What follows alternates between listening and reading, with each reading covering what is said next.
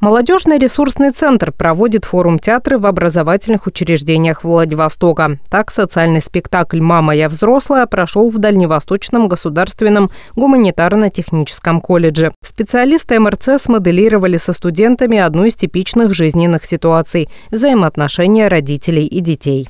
Придумали для чего? Чтобы зритель, зритель не просто смотрел на какую-то историю, драматургию и так далее, а как-то немножко проникся самой историей и, возможно, даже поучаствовал в самой постановке. То есть сделать зрителя неотъемлемой частью самой, самой постановки и в целом этого мероприятия. Опять же, отличие форум-театра от театра обычного. То есть, если театр – это спектакль, поклон, до свидания, цветы, комплимент.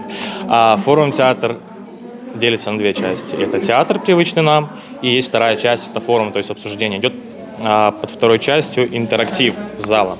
А после выявления проблемы самого спектакля зрителю предоставляется возможность заменить того или иного героя, а, который играл ту или иную постановку. То есть а, сама суть спектакля. Это какая-то остросоциальная проблема. В данном случае у нас это молодежь.